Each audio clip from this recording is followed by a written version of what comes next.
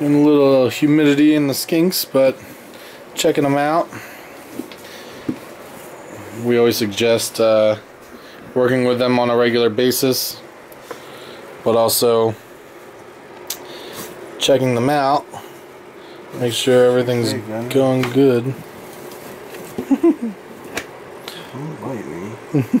Be nice. A good looking one, right? Oh yeah.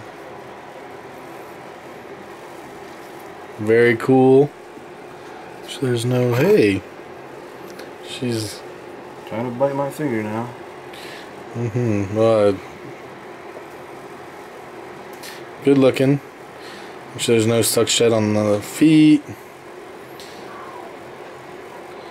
The eyes. I like that?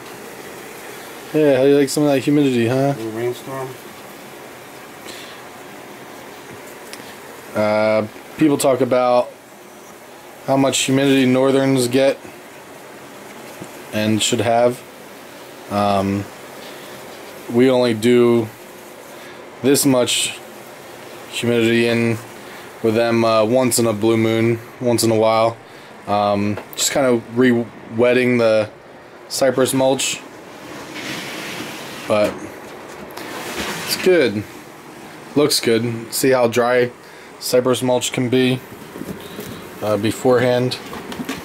I don't know how well you guys can see that. About to go the shed. This one's about to go in shed. You can see how white and light it looks.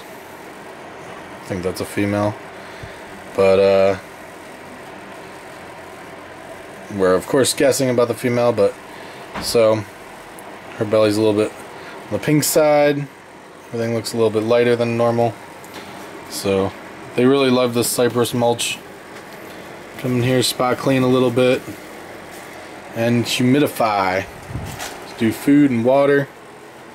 It's looking good, man. All right, we'll see you guys later.